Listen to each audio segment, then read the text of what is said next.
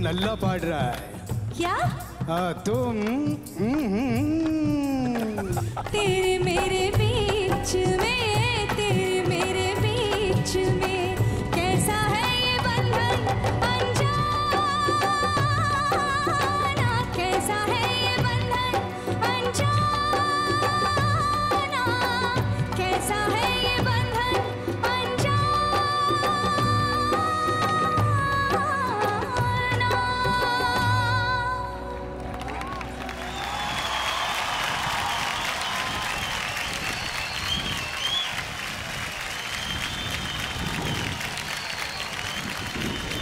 Sir एक जमाने में ये सब कुछ एक टेक में हुआ करता था अनबिलीवेबल और आज आप लोग वही एहसास दिला रहे हैं एक बार फिर से जोरदार तालियाँ हो जाए।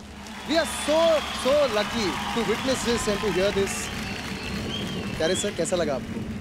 ये इतनी खुशी हुई मुझे इतना परफेक्ट समझ के और सही ढंग से गाना। बहुत अच्छी बात है। Thank you so much thank you so मुझे बहुत अच्छा लगा इसलिए कि कहीं भी उन्होंने कोई चीज़ छोड़ी नहीं और कोई भी ओवर नहीं किया। मैं डर रहा था। वाह। कहीं हरकत ना मार दें बीच में। लेकिन आपने बिल्कुल सही ढंग से और इतना अच्छा गाया है कि मुझे मतलब ऐसा फील होता है सुनते रहो। Thank you so much thank you अभी आप जब कर रहे थे मुझे फिर से याद है जब सत्यम चल रहा था गाना तो डेढ़ सौ के ऊपर म्यूशन थे। पाँच आदमी कंडक्ट कर रहे फिर भी कम पड़ रहा था। तो बेचारे जितने ढोला तबला बैठे थे वो लता जी के लेफ़्ट में थे। और बाकी वायलिन उधर थे इधर ये थे इधर कोरस साठ कोरस थे। समझे ना? और वो बाहर तक सब गा रहे थे। अब पाँच आदमी कंडक्टिंग के अंदर रिदम वाले अंतर की लाइन क्या है वो साउंड दीजिए नहीं मैं इसलिए कर रहा हूँ कैसे हो रहा था इसलिए बता रहा हूँ मैं आपको।